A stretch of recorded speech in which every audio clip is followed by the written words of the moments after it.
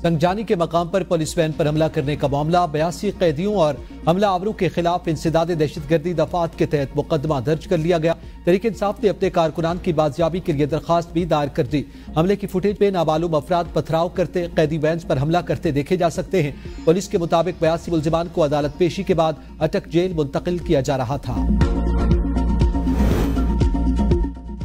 वजी अला सिंध मुराद अली शाह की जेर सदारत मुख्तलिफ़ महकमों का मुश्तर इजलास शर्जील मेमन की।